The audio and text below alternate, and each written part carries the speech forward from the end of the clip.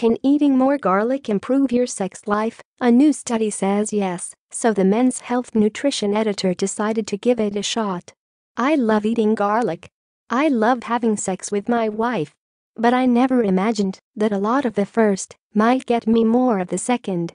In one study from Prague, women rated the odor of guys who gobbled garlic as more attractive and pleasant and less intense than that of men who ate none. The key ingredient in that romantic recipe is apparently the smell that later leaches out of your pores, according to researcher Jitka Fialova, who had garlic chomping guys wear absorbent armpit pads for the sake of science. Women sniffed the bow both with and without garlic and found the garlic-tinged aroma more alluring. Fialova says garlic sulfuric compounds have potent antioxidant powers and may reduce hypertension, improve cholesterol, and fight cancer. Plus, garlic may help your heart, say researchers in Germany and Austria. The bulbs contain four compounds with antioxidant capabilities that could lower total cholesterol and improve systolic blood pressure. And women who are searching for strong men may subconsciously pick up on that. Fialova told me the effect might work at home.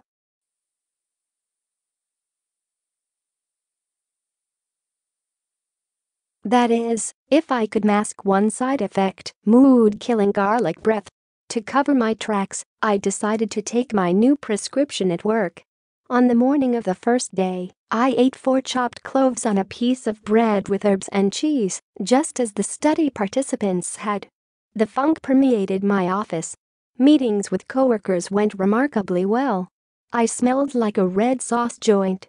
That evening, after chewing through half a pack of wintergreen gum, I avoided detection by my wife. The next morning, however, she told me that a weird smell in the bedroom kept waking her up during the night. Uh, perhaps my man musk had triggered something primal within her. Like bad weird, she clarified. I chewed a lot more gum over the next two days. Even so, I can't say that my wife had a larger carnal appetite than usual. Maybe she was still tired. If we'd eaten the garlic together, that first night might have been more endurable, and we'd have stinkily advanced toward my suspected long-term effect, I'd smell healthy.